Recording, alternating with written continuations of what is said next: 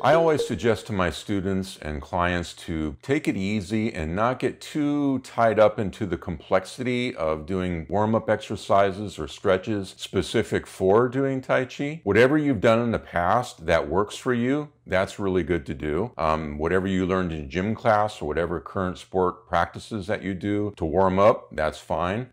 Tai Chi and Qigong are very mild exercises, so you don't need to get too macho and gusto on it. You can just take it pretty easy. The important thing to remember is to stay within your comfort zone. Within Tai Chi, you're using your waist a lot, you're moving very slowly but very flexibly. So you want to make sure that you're getting a little bit of a stretch on your waist and on your legs, but don't step out of your comfort zone. It's very important if you have an injury to stay within your comfort zone.